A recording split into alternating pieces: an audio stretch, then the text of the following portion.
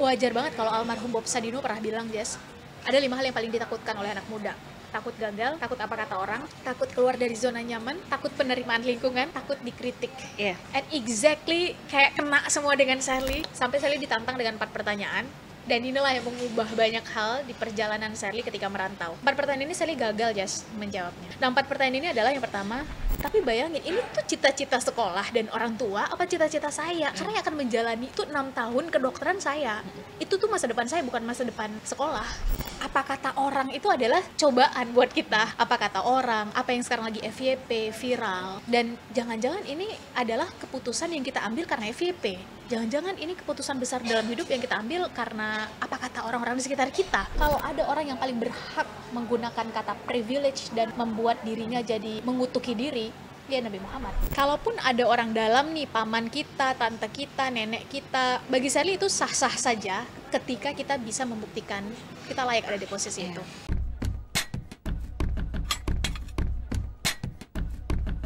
Hai guys, welcome to podcast gak pakai ordal alias gak pakai orang dalam. Seperti biasa kita akan mengundang sosok inspiratif dan kali ini kita mengundang sosok yang tangguh, suka membahas sosial dan juga politik, tapi masih muda, yaitu Kak Shirley. Halo, Assalamualaikum Jess, selamat siang, pagi, sore Waalaikumsalam. Gimana kabarnya Shirley? Baik, sehat, dan bahagia Karena katanya sekarang elemen bahagia itu salah satu elemen terpenting di Gen Z Harus bahagia dong Iya, tentunya memang harus bahagia. Kalau enggak, nanti kita harus ngomongin mental health ya. Nah, bener, bener ya? Bener, bener, bener, bener, bener, bener. Shirley, boleh dong diceritain kalau hari-hari sekarang tuh kegiatannya lagi ngapain aja sih? Karena kalau ngeliat tuh kan kalau di sosial media aktif banget nih. Apakah setiap 20 dalam 24 jam ini emang on terus di sosial media apa gimana? Aktivitas sebetulnya sama sih, Jess. Kayak biasa, ngajar masih, apalagi sekarang udah mulai aktif lagi kampus. Eh, beberapa hari dalam seminggu dapat amanah untuk ngisi seminar ke beberapa daerah. Ada juga online. Dengan teman-teman juga masih sama ngonten. Dan sekarang lagi persiapan buku nih, mohon doanya ya. Dan teman-teman, semoga bisa diterima dengan baik. Banyak banget kegiatan ini bagi waktunya gimana ya kalau boleh tahu ya? Bagi waktu ya udah dijalanin aja lah kapan waktunya prioritasnya kapan tapi yang paling penting bahagia sih Iya, harus kalau bahagia karena kalau bahagia itu kita kayak ngerjainnya itu happy ya, happy gitu. sepenuh hati iya ngerjainnya. even kita tidur jam 2 malam bangun jam 4 pagi itu happy gitu ya udah Tapi kalau anak sekarang berarti work life balance-nya balance. gimana itu? eh tapi sekarang tuh ada istilah baru tau Jess Apa? work life balance itu udah nggak cocok lagi Oke, jadi yang cocok sekarang apa? itu tuh adalah work life harmony Kenapa yang dipilih jadi harmony? karena harmoni itu kita kayak menari dengan ombak-ombak kesulitan Hmm. jadi misalnya kita kita tahu nih batas badan kita adalah kerja sampai jam 10 malam dan kita tahu bahwa badan kita butuh olahraga di pagi hari Mm-mm. kita tahu ketika kerja ketika ngedit video ketika datang saya ke daerah ketemu sama orang dan lain-lain di tengah-tengahnya kita butuh untuk ambil me time Mhm. jadi bukan oke jam 5 tank pulang dan gue nggak mau diganggu lagi bukan gitu Iya. melainkan kalaupun harus diselesaikan pekerjaan mana yang bisa dibawa pulang dan enggak Hmm, jadi harus udah bisa memilih prioritasnya yang mana. It is. Jadi even di rumah kita bekerja ada side hustle itu nggak ada masalah. Tapi kita tahu bahwa oke tubuh lagi nggak baik-baik aja nih, lagi minta haknya nih. Kayaknya eh, otak kita nih lagi butuh ketemu teman-teman nih. Jadi kita tahu batasannya sampai mana dan kata kuncinya sih kita ngontrol diri kita. Oke. Kita menjadi orang yang eh, punya self control, punya self leadership dan hari ini menurut Sally apalagi di industri 5.0 justru skill itu yang yang penting banget gitu. Untuk bertahan di eh, masa saat ini ya. Iya, sepakat. Untuk bertahan dan kalau bisa malah kita memenangi zaman. Mhm. Eh kok berat banget sih? Iya, jadi berat banget ya. Tapi kalau Shirley sendiri berarti udah work life harmony ya, bukan work life balance lagi. Work life harmony. Oke. Jadi mau itu di di provinsi mana, di kabupaten mana, kita tahu bahwa gimana cara memunculkan elemen bahagia. Gimana supaya fokus dan energi kita tetap optimal sekalipun kita harus kerja yang paling lama pulang dan tidur ya, dan bangun harus paling pagi. Mhm. Tapi kita tahu energi fokus bahagia dan semua itu berada pada posisi optimal. Hmm. Dengan segudang aktivitas kayak gitu berarti menikmati dong. Harus dong. Harus, tapi kalaupun se- gini bagi Sally menikmati dan tidak menikmati itu keputusan ketika kita memutuskan untuk oke okay, kita akan menikmati satu aktivitas, satu tanggung jawab dan satu amanah, kita akan memunculkan elemen-elemen yang kita bakal enjoy di dalamnya. Hmm. Makanya istilah yang sering dipakai hari ini sama teman-teman Gen Z kan adalah gimana supaya kita bisa ya menari bersama ombak-ombak itu tadi. Hmm. Kita bisa ya mungkin gak enak, mungkin sakit sih, mungkin kadang-kadang kecewa, sulit, berat gitu teman-teman yang generasi sandwich menanggung yang di atas yeah. dan di bawah gitu iya berat sih tapi ya udah emang ini realitasnya dan hmm. harus dihadapi gimana tetap enjoy gimana tetap bisa menikmati hmm. dan menurut saya justru seninya generasi sekarang tuh di situ hmm. bukan justru lari dari masalah karena ada satu quotes dari Bu Hamka bilang gini hmm. jangan pernah takut gagal jangan pernah takut sakit jangan pernah takut sedih dalam berjuang karena orang yang nggak pernah gagal adalah mereka yang nggak pernah berjuang dalam hidupnya hmm, hmm, jadi hmm. kalau kita adalah para pejuang kehidupan teman-teman maka mulai hari ini September Oktober 2024 mari berteman dengan kegagalan hmm, hmm. mari berteman dengan rasa sakit hmm. itu tuh hal yang wajar banget itu tuh hal yang ya udah itu bagian dari kita berproses kita yeah, bertumbuh. exactly bagian berproses. Dan jangan ragu untuk mencoba berarti ya? Yes keluar dari zona nyaman. Keluar dari zona nyaman. Nah ngomong-ngomong sebetulnya dari segudang kegiatan itu Shirley tuh gimana sih awalnya bisa keluar dari zona nyaman kemudian bisa menikmati rasa sakit dan rasa capeknya ini semua? Awal mula ya? Hmm. oh, hasilnya harus nggak flashback dulu nih. Awal mula saya itu sebetulnya adalah orang anak muda di kala itu yang bisa dibilang biasa-biasa aja. Bukan yang paling pintar juga bukan yang akinya IQ-nya wow banget gitu sebetulnya biasa aja mbak. Cuma ada satu momen memang dalam hidup yang membuat ternyata keputusan itu harus kita yang buat. Mm-hmm. gitu. Jadi dan orang tua saya nggak pernah memaksa Sally kamu harus ranking satu ya. Mm. kamu harus masuk tiga besar ya. Nggak pernah. Prinsip orang tua Sally kamu gak harus jadi yang terbaik tapi jangan jadi yang terburuk ya. Kayak gitu Berarti di tengah-tengah. Tengah-tengah ya. oke. Okay. Kamu mau ranking 10, 11, ya 9 tapi jangan yang terburuk ya. Kalau ada 30 siswa jangan yang 30 ya. Kayak gitulah. Jadi ya udah saya enjoy main dan segala macem. Hmm. Sampai akhirnya tamat SD naik ke SMP. Hmm. Ada satu momen di mana saya terlambat untuk daftar ulang di SMP itu sehingga saya terplanting sendiri di di antara kawan-kawan. Hmm. Jadi kalau kawan-kawan yang lain mah itu ada di mungkin istilahnya adalah di kelas unggul atau kelas shadow unggul gitu. Ya karena nggak jelek-jelek banget mungkin shadow unggul gitulah ya. Saya terplantingnya jauh sekali ke yang ya ibaratnya paling ujung lah gitu. hmm. gitu kalau ada A sampai Z ya saya di Z-nya gitu. Terus orang tua bilang kan perjanjian kita jangan yang paling akhir. Yeah. kok masuknya ke sini? Gitu. Nah, itu gimana responnya itu? Terus akhirnya saya coba cari tahu ke pihak sekolah kenapa saya ditaruh di sini? Gitu. Akhirnya long story short karena kamu nggak daftar ulang. Terus saya langsung loh daftar ulang itu berarti udah mulai saya dicari tahu saya masih terima tapi ketika mungkin ini hal kedua yang pengen saya highlight bahwa kita dibentuk berdasarkan lingkungan yeah. dengan siapa kita bergaul mungkin kalau kita saat ini usianya di bawah 15 tahun berarti yang orang tua hmm. keluarga dengan siapa kita dibesarkan kita adalah dengan siapa kita bergaul hmm. jadi dari situ saya mulai turun tuh ya semangat belajarnya mungkin ya. Karena mungkin ya lingkungannya ya udah sangat easy going gitu. Ya kamu ngapain sih dapat nilai segitu? Biasa aja biasa gitu. Dari situ akhirnya dan hal kedua yang saya mulai nggak enak adalah pertemanan itu akan berubah. Teman kita SMP beda dengan teman kita SMA nanti di SMA beda dengan kuliah. Kuliah nanti beda dengan bekerja. Dan terima itu karena everything changes in life. People changes. Semua hal berubah jadi ya udah nikmati aja perubahan itu tinggal kita tahu warna kita di mana. Nah kembali ke topik saya mulai nggak terima ketika kawan-kawan yang dulu tuh yang di satu sama satu dua merasa udah deh nggak usah temenan sama Sally lagi. Hmm? karena udah beda nih gitu. Hmm. dari situ akhirnya Sally sampaikan ke orang tua bahwa udah mulai ada perbedaan perlakuan dari teman dan boleh nggak Sally pindah sekolah aja. Nggak mau tuh udah coba kamu off dulu sekolah deh.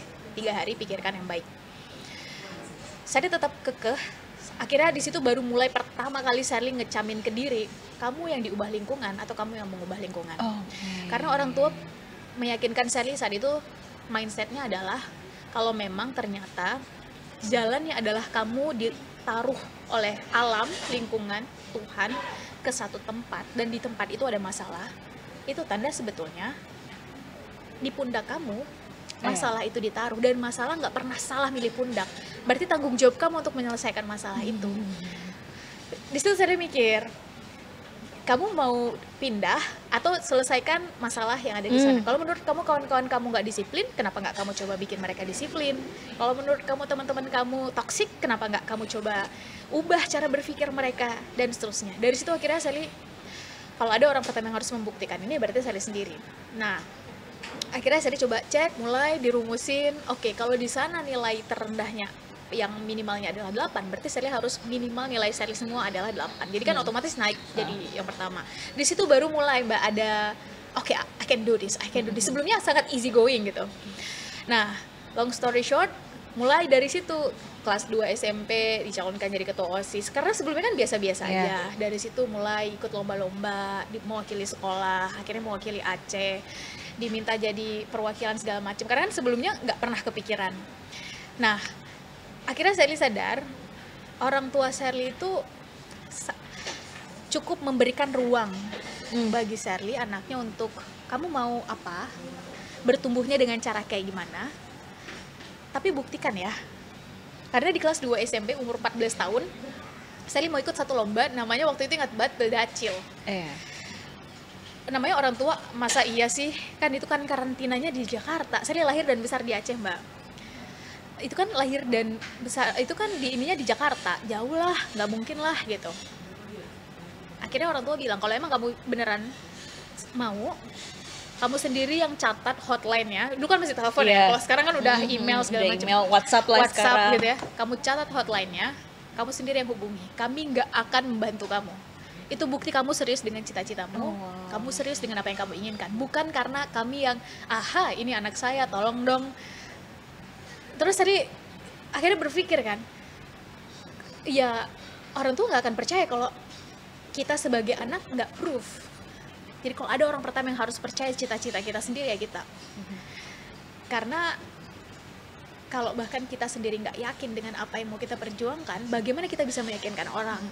Dari situ akhirnya Sally catat, Sally telepon, kapan audisinya, Sally datengin, Sally, Sally, Sally kasih dan akhirnya di hari itu Sally minta diantarkan, gagal. Oke. Udah smart banget, Tapi kan Alice sudah usaha kan? udah usaha orang tua bilang ya udah tahun depan kan ada lagi. Ya tahun depan. Dan seterusnya ternyata tahun depan coba lagi. Oke, ternyata gigih ya. ya dan itu dapat friksi lagi. Friksi kedua adalah dari sekolah. Kamu kayaknya nggak bisa ya jatuhnya tinggal kelas atau sekalian cari sekolah lain aja. Karena tiga bulan nggak sekolah dan saat itu ujian dan lebih kondisi yang memperparah saat eh, keadaan adalah saat itu sekolah lagi masa-masa olimpiade kalau nggak salah istilahnya kan begitu ya ternyata Sherly masuk sebagai salah satu perwakilan olimpiade untuk berangkat ke provinsi Ada pilihan lain lagi berarti ada pilihan ini. lain lagi. Jadi kalau olimpiade kan akademik banget ya. Kalau yang ini kan lebih ke skill. Jadi kalau teman-teman sekarang lagi punya mengembangkan skill, lagi senang dengan sesuatu, menggambar kah, fotografi kah, menyanyi, melukis, name it, skill yang sifatnya uh, di luar akademik ya. Jangan malu, teman-teman. Jangan takut Tuh dengar.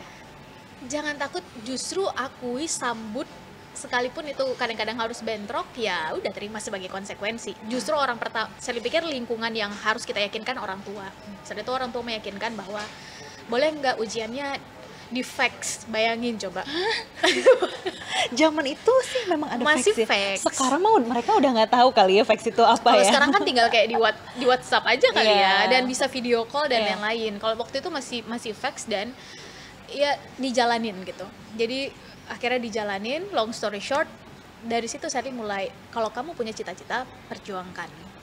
SMA begitu juga friksi terbesar di SMA adalah Sherly tuh pengen kuliah di jurusan yang itu bu- bukan jurusan Sherly jadi ketika 3 SMA sekolah ternyata mengarahkan Sherly ke kedokteran Sherly IPA Mm-mm.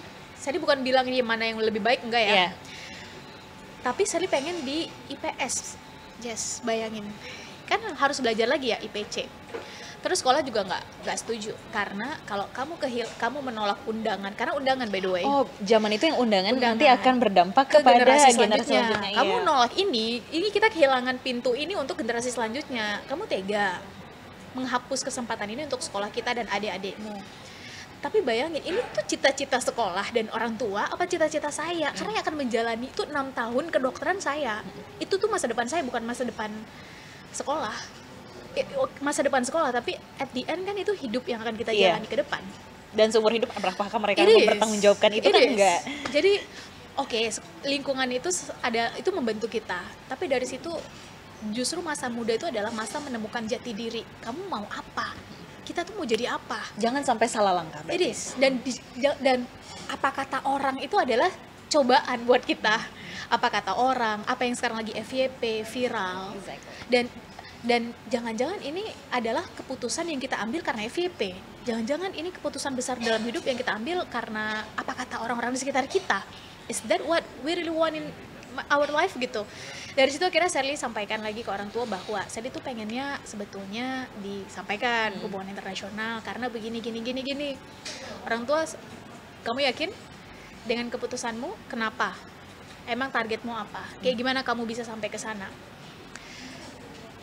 Kondisi kami finansial sedang tidak baik-baik saja, kamu terima konsekuensi itu enggak? Kalaupun dapat beasiswa, kami benar-benar berharap beasiswa itu kamu pertahankan dari awal sampai akhir. Karena kalau di tengah-tengah kamu putus, kami benar-benar dari awal harus jujur, kami nggak bisa bantu. Oke, oke, go fight for it. Jadi mungkin itu hal yang paling saya syukuri, orang tua cukup memberi ruang. Hanya memang tunjukkan kalau kamu bertanggung jawab dengan cita-citamu. Kayaknya cara berpikir itu akhirnya nempel banget di Sherly sehingga awalnya di Jogja, kemudian ke Jakarta, berproses lah akhirnya di Jakarta sampai selesai. Dan itu juga akhirnya Sherly lakukan ketika berangkat ke Australia, Eh, ketika kuliah kayak nggak cukup gitu cuma datang ke Iya.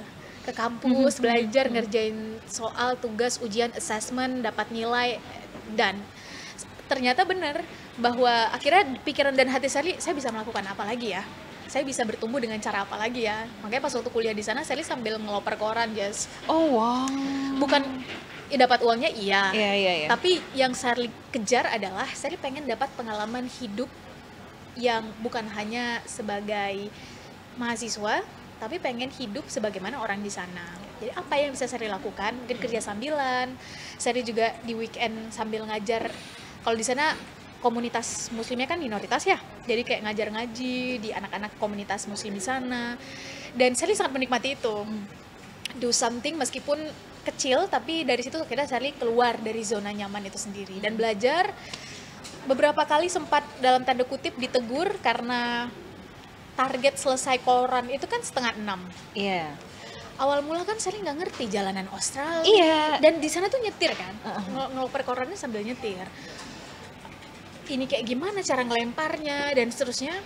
Jadi ketika ha- tiga kamu dikasih waktu tiga hari untuk bisa selesai setengah enam. Selesainya jam 8 pagi. Itu kan telat banget ya? Iya jauh banget jauh lagi. banget. Ditelepon Ser kamu kayaknya nggak bisa deh di kerjaan ini. Gimana? Kamu mau coba satu hari lagi nggak? Dari situ akhirnya Sally dalam satu hari dua kali kelilingin rute untuk memastikan Sally udah hafal di luar kepala rute itu jadi udah tinggal lempar-lempar aja. Di hari selanjutnya udah mulai baik nih Hmm. meskipun masih lewat juga nih Iya. jam 6 jadi kalau memang punya target teman-teman stick to the target. Hmm. sekalipun kita belum nyampe tapi kita tahu bahwa kita menuju ke sana. Dan perbaikan itu akan ada even satu persen. Dan dan akhirnya Sally sadar bahwa perbedaan itu bukan alasan bagi kita untuk berkarya dan menunjukkan siapa Iya. kita Mhm. selama jelas kualitas Iya. cara kerja dan segala macem cepat atau lambat ya kita akan membuktikan Hmm. siapa kita gitu terus pulang ke Indonesia kembali eh, udah akhirnya sekarang berdialektika sebagai dosen sebagai eh, orang yang masih belajar juga konten creator bersama Iya. teman-teman dan lain-lain Share kalau ngelihat perjalanannya dari tadi kamu ceritain gimana mulai waktu dari Aceh sampai saat ini kamu sempat ke Australia kemudian ke Jakarta dengan saat ini sebetulnya posisi sekarang ini sudah cita-cita kamu atau belum sih? Wow. Belum sih. Belum. Belum. Jadi kamu belum mendapatkan apa yang selama ini masih menjadi target kamu. Sally bersyukur. Sally bersyukur dengan apa yang sekarang Sally jalani, Sally menikmati prosesnya. Tapi kalau ditanya, kan udah selesai, Ser. Masih ada lagi nggak yang mau dikejar? Ya tentu, tentu iya. Karena kan ada istilah begini, selesai dengan suatu pekerjaan, mulailah pekerjaan lain. Kalau kata Pak Renald Kasali, ketika kita selesai menaklukkan satu gunung, bersiaplah untuk turun gunung dan menaklukkan gunung yang lebih tinggi selanjutnya. Itu tanda kita akan bertumbuh dan itulah petarung sejati. Jadi kalau ditanya apakah ini udah selesai, ya tentu belum. Eh, bagi Sherly, jadi bukan profesi ya. Aha. Ini Sherly tuh lebih ke what's the purpose and meaning dari yang kita kerjakan. Menurut saya yang saya lakukan ini belum ada apa-apanya dibanding senior-senior yang udah karyanya luar biasa, kiprahnya udah jauh lebih besar. Dan Sally pikir, Sally juga harus bersiap, Sally harus melayakkan diri untuk bisa sampai di sana gitu. Dan apakah misalnya nih 10 tahun yang lalu kepikiran nggak untuk ada di posisi ini? Iya. Kalau profesinya enggak, tapi kalau apa yang dilakukan dan impact dari apa yang dilakukan kepikiran. Oh ya? Ya, Emang berawal dari apa sih Syar sampai kamu bisa em, berarti kan sebetulnya sudah ada visi dan misi dari dulu kan? Yes. Apa yang men-trigger itu? awal mulanya ya. Awal mula kan saya ambil hubungan internasional, Ah. itu karena mau jadi duta besar, Jess. Oke. Jadi akhirnya mau mau cross gitu ya. Di tahun kedua kuliah, Sherly ditegur keras oleh seorang mentor. Sher, kamu tuh ngapain? Yang kamu lakukan itu sibuk, bukan produktif. Oh, ini juga harus bisa dibedakan ya. Apa itu sibuk, Yes. apa itu produktif. Dulu dia dua, bisa dibilang dua tahun pertama kuliah, Sher mau nggak ikut organisasi A? Mau. Sher mau nggak mewakili kampus ikut kegiatan B? Mau. Sher mau nggak mewakili Indonesia dalam kegiatan C? Sally mau. Semuanya Sally okekan, semuanya Sally hayukan. Sampai akhirnya ditanya pertanyaan itu, Sally nggak terima dong. Namanya anak muda, egonya Iya. masih besar, nggak terima dibilang kayak gitu. Sampai Sally ditantang dengan empat pertanyaan, dan inilah yang mengubah banyak hal di perjalanan Sally ketika merantau. Hmm. Empat pertanyaan ini Sally gagal, Jas, menjawabnya. Boleh tahu nggak kita apa itu empatnya? Dan ini mungkin sekaligus empat pertanyaan ini adalah yang akan membedakan mana manusia sibuk dan produktif. Oke. Nah, empat pertanyaan ini adalah yang pertama, Sar, kamu tuh siapa sih di masa depan? What's the goal? Kamu ngerjain ini semua, kamu tuh dipercaya menjadi ketua organisasi di lima tempat. What's the goal? Targetnya apa? Kamu tuh Senin sampai Minggu nggak ada di asrama, Sally dulu di asrama. Emangnya visi kamu apa? Sebutlah 10 tahun ke depan kamu ngeliat dirimu sebagai siapa? Duta besar. Duta besar itu butuh nggak kegiatan ini nanti? Dari situ akhirnya Sally Sally udah gagal menjawab pertanyaan pertama karena pertanyaannya itu bukan hanya sekedar saya mau jadi profesi A Iya. karena profesi mah berubah bener nggak Pro- eh, 10 tahun yang lalu orang nggak pikiran untuk jadi content creator Iya. Betul. kalau sekarang mungkin kita bertanya ke anak SMA dan SMP apa cita-citanya Content creator, influencer. youtuber, influencer dan lain-lain. Kita nggak kebayang 20 tahun ke depan 2045 akan ada profesi baru, akan ada kegiatan-kegiatan baru di generasi alpha Iya. atau generasi Z. Jadi bersiaplah dengan esensi dan nilai bukan berdasarkan profesi. Itu udah kunci banget ya, Itu udah esensi kunci dan banget. nilai. Jadi dari situ saya bilang, saya mau jadi duta, duta besar, masih belum berubah. Hmm. Kenapa mau jadi duta besar? Digali sama si mentor. Karena saat itu saya ingat, saat itu nonton satu dokumenter WTC, kalau ingat Iya. WTC yang di Amerika, dan itu akhirnya mengubah cara pandang publik masyarakat internasional ter- terhadap terorisme, Iya. definisi terorisme. Saya merasa kok begini kok ini nih cara berpikir yang salah. Ya namanya mungkin anak SMA ya, jadi masih menggebu-gebu dan seterusnya. Akhirnya mau jadi duta besar. Oke, kenapa kamu mau mengubah cara pandang dunia tentang terorisme? Digali tuh sampai akhirnya pertanyaan yang kelima, why yang kelima, ternyata nggak neko-neko Jess. Jawabannya as simple as ya udah saya mau ngasih manfaat aja untuk orang-orang sekitar. Karena bayangkan seorang yang nggak bersalah, intinya Iya, jadi iya, hal iya. yang deket banget Iya, sebetulnya iya, dengan kamu. Kalau memang kamu ngasih manfaat, kamu ngasih inspirasi, nggak harus jadi duta besar dong. Iya. Ditantang tuh, dibolak-balik kan cara berpikirnya.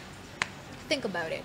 apa yang kamu kejar di lima tahun ke depan jadi akhirnya dari situ butuh waktu sih nggak nggak satu hari aha selesai tapi akhirnya saya mulai bertanya deep diving bukan bukan yang dicari bukan validasi eksternal lagi oke mungkin nggak nggak mainstream gitu keputusannya tapi ya udah saya terima yang kedua siapa kamu sekarang Sarah kamu tuh siapa sekarang dan menjawab siapa kita sekarang ini kan bukan saya Seliana Vita. Iya.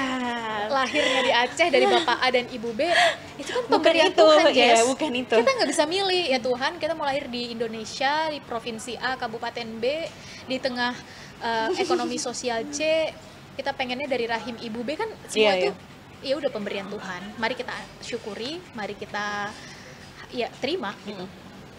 Tapi justru perjalanan kita ini membentuk kita sekarang jadi siapa. Apalagi di, ketika kita udah bisa memutuskan saya mau ini, saya mau ini, masa depan saya seperti ini dan bertanggung jawablah dengan itu. Syukurnya orang tua cukup memberikan ruang untuk itu. Siapa saya sekarang mulai, apa kelebihanmu Ser, apa kekuranganmu? Kamu sekarang itu dibentuk dengan cara yang seperti apa dulu? Itu akhirnya mulai cari tahu dan saya sadar boleh jadi seseorang itu unggul dalam hal A, lemah dalam hal B. Tuh unggul dalam hal kreativitas tapi lemah dalam hal hitung menghitung nah Sally saat itu Jess kepengen unggul dalam semua hal ego banget gak? Hmm.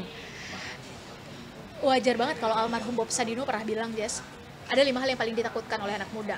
Takut gagal takut apa kata orang takut keluar dari zona nyaman takut penerimaan lingkungan takut dikritik. Yeah. and exactly kayak kena semua dengan Sally minimal setengahnya lah gitu ya.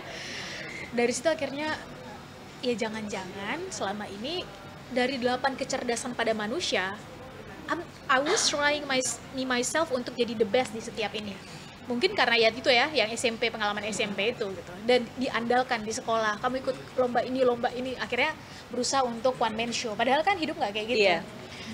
terus akhirnya kamu nggak bisa ngambil semuanya, semuanya. sendiri oh. ser. Nggak kayak gitu cara mainnya.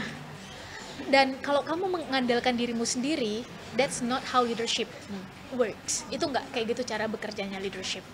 Di situ akhirnya saya kan kayak ketampar dua kali tuh cek kamu tuh kelebihannya di mana dan isilah sesuai dengan puzzlemu. Dan jadilah terbaik di puzzlemu.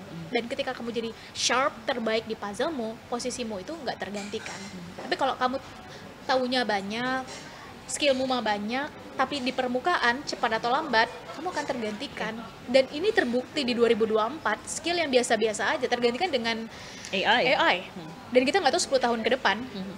dan tersebut dalam salah satu annual report gitu McKinsey menyebutkan satu dari tiga tantangan Indonesia menuju 2045 sebagai negara yang maju, maju. adalah anak muda produktifnya harus kompetitif. Mhm. Kompetitif itu kan berarti menjadi terbaik di bidangnya. Kalau kita ahli dalam bidang A, ahlilah dalam bidang itu. Dilalahnya, ahli itu kan just jam terbang toh iya. nggak bisa aha saya belajar course selama tiga bulan dan saya jadi ahli. Tiba-tiba. Ya, enggak, semakin cepat kita sadar oke okay, saya unggulnya dalam hal public speaking be the best of it. Saya unggulnya dalam hitung menghitung be the best of it. Kumpulkan jumlah jam terbang bikin karya karena karya akan bicara lebih banyak. Terus saya diam ya terus ngapain selama ini saya ngelakuin megang sebanyak, sebanyak itu. ini? Oke okay, saya udah kalah lagi tuh menjawab itu. Terus akhirnya pertanyaan ketiga how? Bagaimana target kamu kan ke sana saya sekarang kamu ke di sini nih yang tadi kamu jawab how gimana karena akhirnya di situ Sally sadar jarak antara siapa kamu sekarang dengan siapa kamu di masa depan, let's say satu tahun, dua tahun, lima tahun adalah your action. Mm-hmm. Kalau kamu mau jadi seorang olahragawan, ya mulai dari sekarang kamu latihan, bangun pagi. Kalau kamu pengen badanmu ideal, ser, ya mulai perhatikan gizimu, apa yang kamu makan. Kalau kamu pengen menjadi posisi itu, perhatikan kamu bergaul dengan siapa, apa yang kamu lakukan. Karena nggak mungkin itu terjadi tiba-tiba. Kamu harus susun satu persatu batanya jadi sense dalam lima tahun terakhir viral banget sekalipun satu persen per hari kata kata uh, Tony Robbins dalam bukunya Atomic Habit satu persen aja per hari kebiasaan baik itu kita lakukan. Tapi kalau konsisten cepat atau lambat 365 hari berlalu kita akan jadi manusia baru dengan kebiasaan baru yang terbentuk di diri kita. Dan that's become character. Itu indah sih. Sally pribadi mengakui generasi kita generasi yang instan. Itu bukan benar salah ya Jess? Kita hidup di semua yang serba cepat. Betul. One click pesan makanan, pesan transportasi dan lain-lain, bayar, datang langsung ke tempat yang kita butuhkan. Mudah, gampang. Tapi ternyata itu nggak berlaku dalam proses kita membentuk karakter, dalam kita meniti jalan atau pathway kontribusi terhadap apa yang ada di sekitar kita. Hmm. Dan ya udah nikmati aja Iya. prosesnya. Sesekali kita capek, ya udah istirahat gitu. Sesekali kita mau berhenti dan healing, ya udah take your time. Satu hari, dua hari, ambil jeda teman-teman. Hidupkan perjalanan, bukan perlombaan. Terakhir pertanyaan keempat, eh, saya gagal juga dan butuh waktu agak lama. Sar, kamu tuh pengen ninggalin apa untuk generasi selanjutnya? Dan makin ke sini saya makin sadar bahwa that's the meaningful, the purpose. Ya udah, kamu mau meninggalkan apa untuk generasi selanjutnya? Waktumu terbatas, Sar. Mm. Ketika waktu terbatas, ya lakukan sesuatu yang sifatnya beyond me myself. Teman-teman punya kemampuan dalam bidang hitung menghitung. Kira-kira ini bisa meninggalkan apa ya untuk generasi selanjutnya? Dan satu-satunya jawaban untuk itu adalah ya karya apa yang mau Iya. dilakukan dibuat gitu. Dari situ akhirnya Sherly semakin menyadari betapa sibuknya Sherly dulu Tapi tidak ada artinya kesibukan tapi itu. tidak ada artinya selama dua tahun pertama. Oke. Ya mungkin tidak ada artinya tuh Sally Bukan, ya. ya.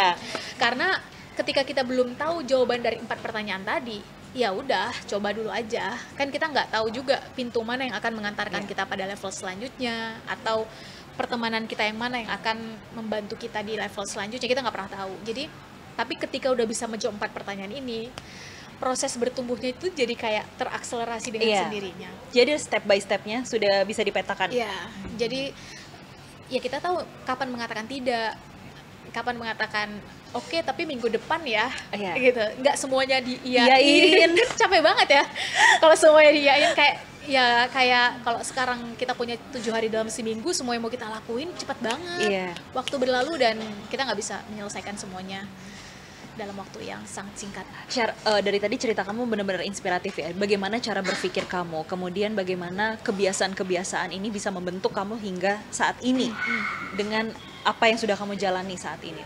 Tapi di balik itu semua, ini kan sesuai dengan judul kita nggak pakai orang dalam. Kamu pakai orang dalam nggak sih dalam proses ini sampai menuju ke posisi sekarang?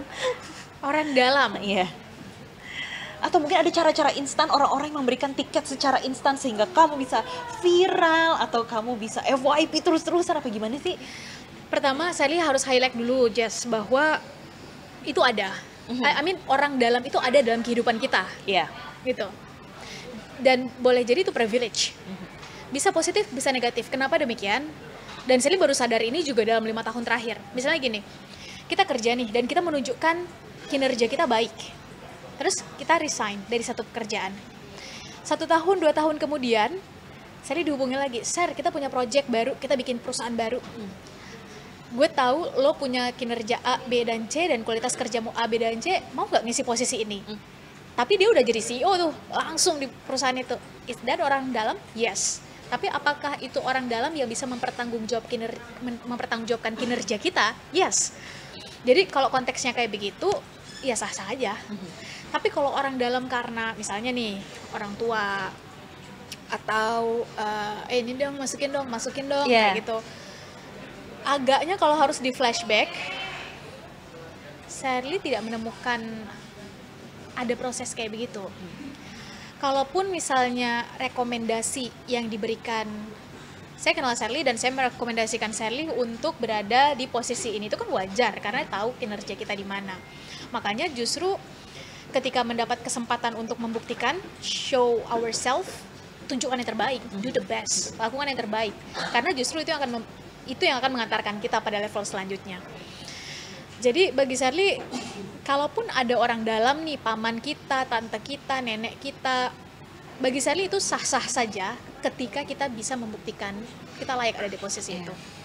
Misalnya ini andai saja ya andai misalnya ibu Sherly adalah seorang CEO di perusahaan tertentu terus ya udah share karena kamu adalah anak dari CEO jadi kamu dipersiapkan untuk ya sah-sah saja. Ketika dan itu menjadi sangat wajar umum diterima oleh publik ketika Sherly-nya juga mempersiapkan diri melayakkan diri Iya. menunjukkan bahwa ya dia layak ada di posisi itu. Sehingga bukan hanya Sherly yang confident enough untuk mengisi posisi itu lingkungan sekitar itu nggak melakukan rejection. Iya. ya layak sih Jessica ada di posisi itu. Dia A B C karyanya A ketika memimpin jelas dan lain-lain. Dan saya pikir itu sih esensinya. Jadi apakah ada orang dalam apa enggak kalau di Sherly ya sejauh ini sejauh dan sependek yang Sherly ingat sih Sherly sangat jarang kalaupun ada orang dalam yang memberikan rekomendasi itu based on kinerja dan apa yang dilakukan sebelumnya gitu Jadi melihat kinerja ya, bukan karena eh masukin dong, eh masukin dong, Iya, kayak gitu iya. ya. Tapi itu ada ya. I mean, itu ada dalam realitas Iya, kehidupan iya, sehari-hari dan beberapa kali saya hadir di apa seminar kampus banyak pertanyaan dari anak muda yang bertanya tentang privilege orang dalam.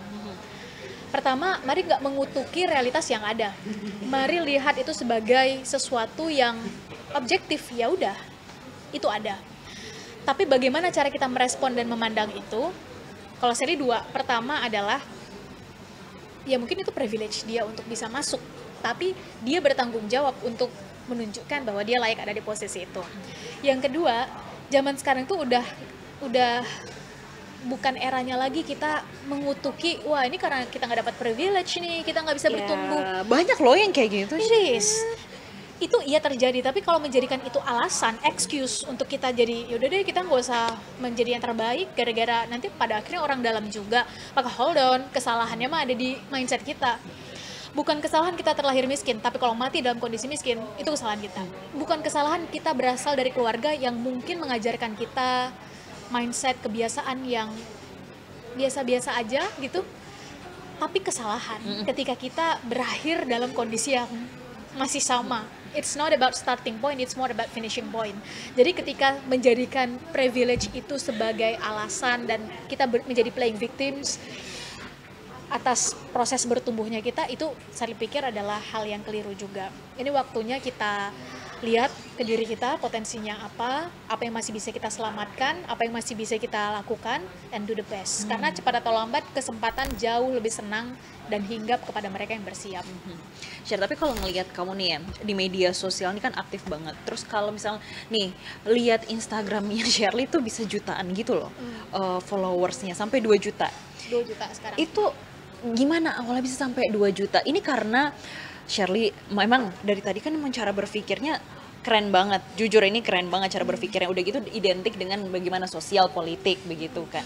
Ini bisa sampai 2 juta dan kontennya juga terkait dengan sosial politik dan Sosial juga politik, tentang perempuan begitu kan.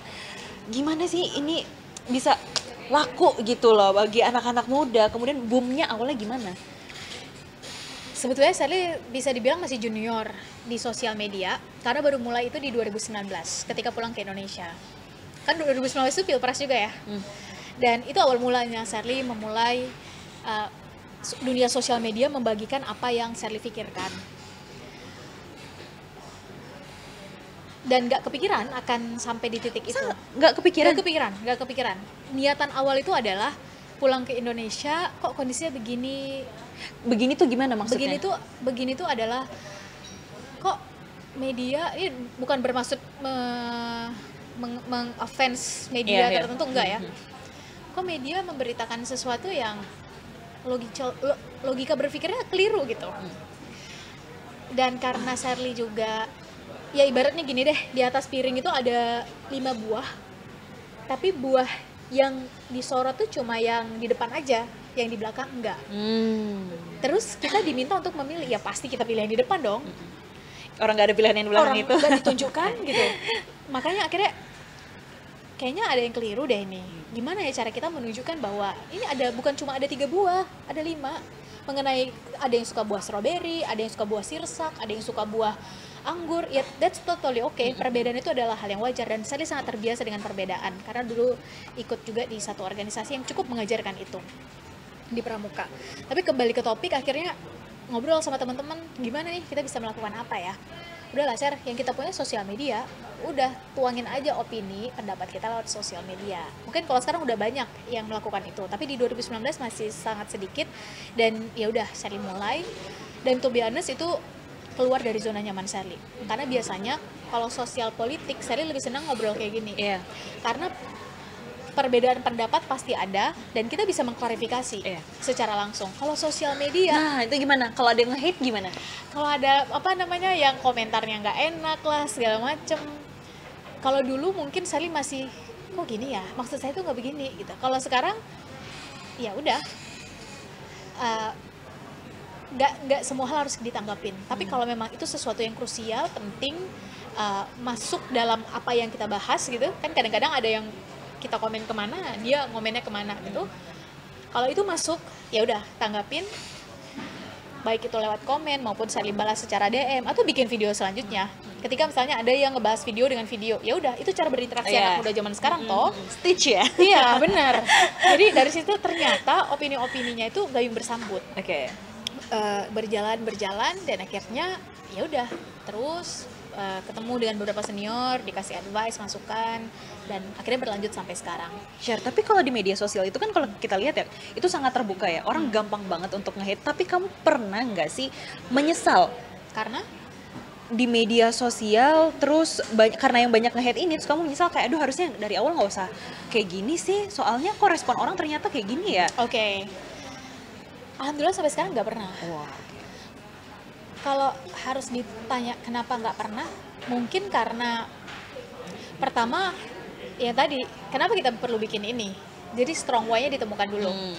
Yang kedua pro- pro- proses di tim di tim karena saya nggak sendiri teman-teman Ya. di tim itu sebelum memposting sesuatu apalagi sifatnya sensitif itu tuh double check riset yes data pemilihan kata sering sekali terjadi yes video itu nggak jadi naik. Oh karena pemilihan kata atau penempatan yang itu bakal bisa kena kasus hukum lah intinya. Oke. jadi nggak jadi naik. Hmm. kita berusaha berdasarkan apa yang bisa kita kontrol untuk menjaga itu. Kayak gitu. Jadi syukurnya sampai sekarang nggak ada. Dan semoga sampai seterusnya nggak ada kalaupun ada teman-teman mohon dibantu ingatkan Sally. Iya toh? Karena ya bagi Sally jejak digital itu iya susah banget nggak akan iya, bisa hilang loh. bisa. ini yang 10 tahun yang lalu kan mulai naik. Bisa muncul lagi. yang di Twitter naik lagi sekarang. Jadi kembali ke yang di tadi Just tanyakan jejak digital itu kejam teman-teman. Mari mulai bertanggung jawab dengan apa yang kita posting Gak tahu 10 tahun ke depan Iya. muka Sally dari depan atas samping kanan kiri. Terus suara Sally misalnya di sosial media akhirnya kedapatan satu video Sally sedang menyampaikan ujaran kebencian atau melakukan tindakan asusila. Atas dasar video itu yang dirajut dengan AI Sally kena kasus hukum. Bisa kan? Jadi beranilah mulai hadapi realitas di industri 5.0 bertanggung jawab atas apa yang kita posting. Itu itu mungkin screening yang kedua. Terus yang ketiga adalah s- eh, Sally bersyukur nggak ada statement yang perlu Sally klarifikasi atau Iya. eh, apa ya gimana ya caranya ngapus atau menyesali apa yang sudah saya katakan Ini ya, tipsnya juga nih ya buat anak-anak muda. Jadi kalau mereka bikin konten harus riset dulu dan Riset. bener-bener dalam pemilihan kata berarti ya. pemilihan kata dan yang tadi strong why karena kalau berdasarkan apa kata orang atau viral itu berubah kalau berdasarkan value atau nilai mungkin mungkin proses strateginya berubah tapi nilainya sama.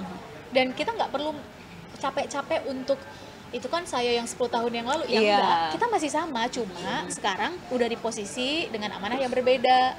Sekarang dengan misalnya Jessica nanti ternyata habis lima tahun lagi jadi anggota legislatif. Ya legislatif. Kalau dulu sebagai seorang jurnalis tapi nilainya masih sama misalnya kayak gitu.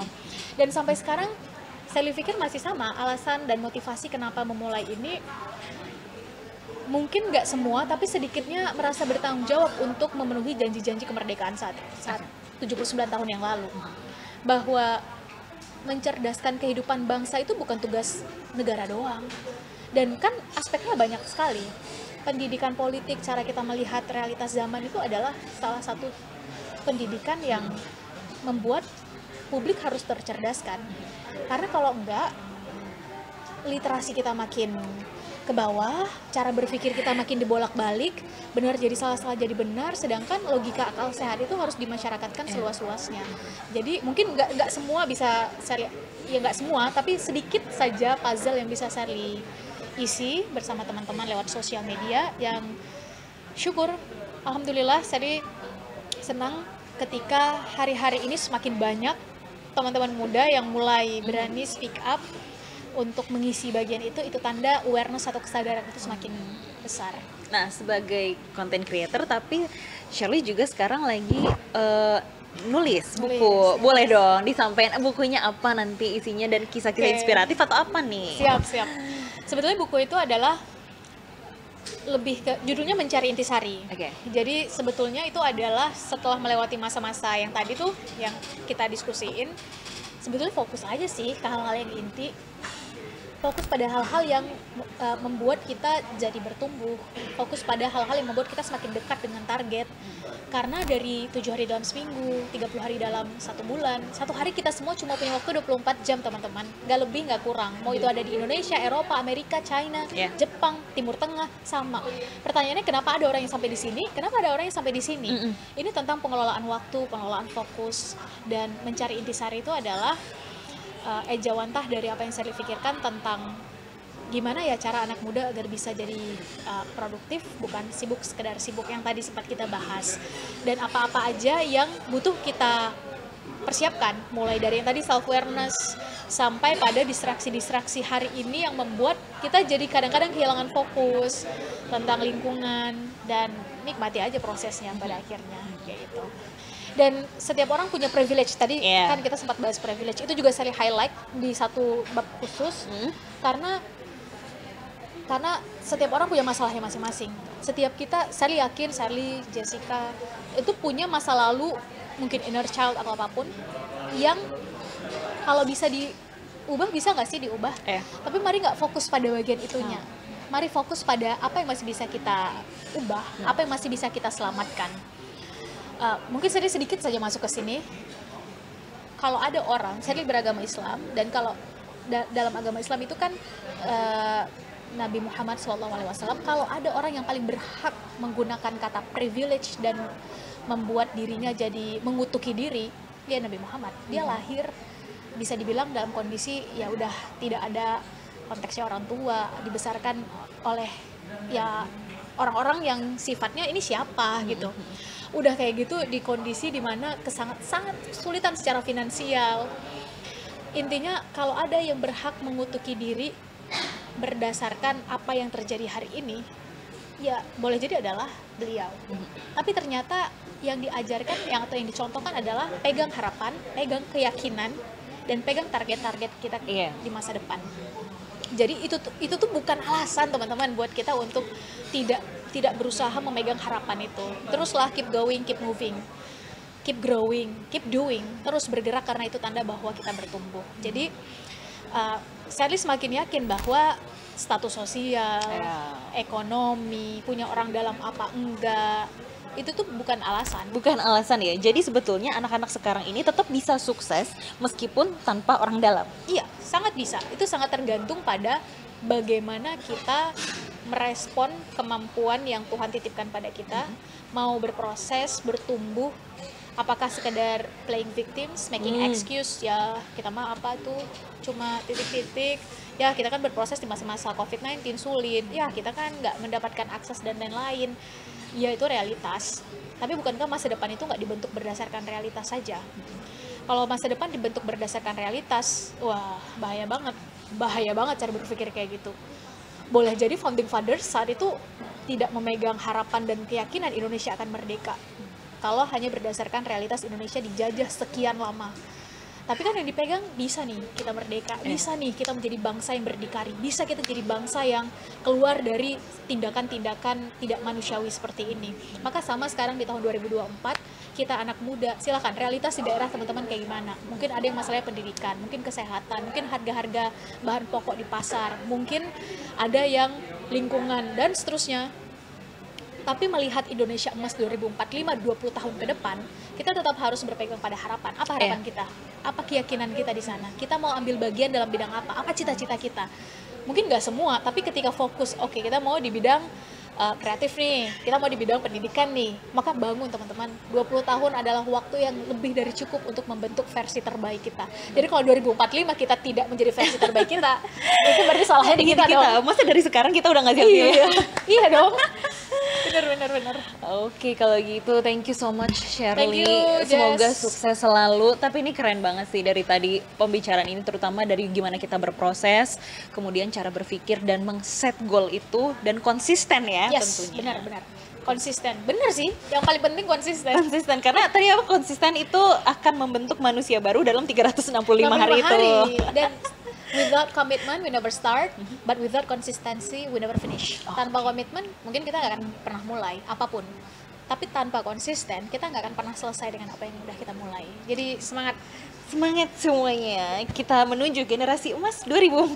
mantap Thank you Shirley Thank you, sudah Jess. bergabung sukses selalu ya. Dan itulah tadi percakapan kita di Gak Pakai Ordal. Tetaplah bersama kami.